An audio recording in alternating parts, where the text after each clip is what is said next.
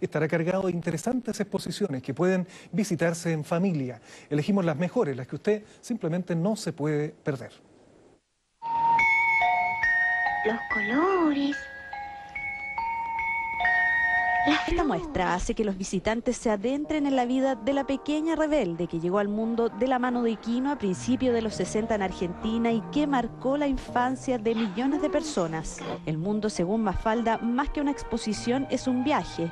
Nos permite recorrer su casa, sus muebles, saber cómo escuchaba música, dónde comía, qué le gustaba y le disgustaba. Allí los niños podrán tocar y aprender.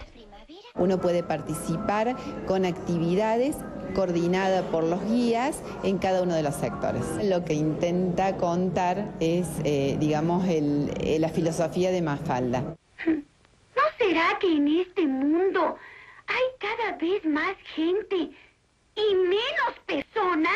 A punto de cumplir 50 años, Mafalda ya visitó Argentina y México con esta muestra.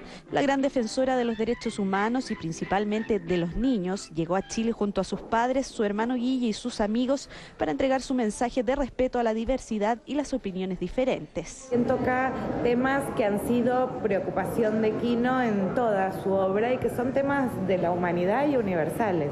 El Mundo Según Mafalda estará en Casas de Lomata en Vitacura hasta el 7 de junio y será una gran oportunidad para que los niños puedan conocer a esta niña llena de imaginación y sentido común. La primavera es lo más publicitario que tiene la vida. Esta es la gran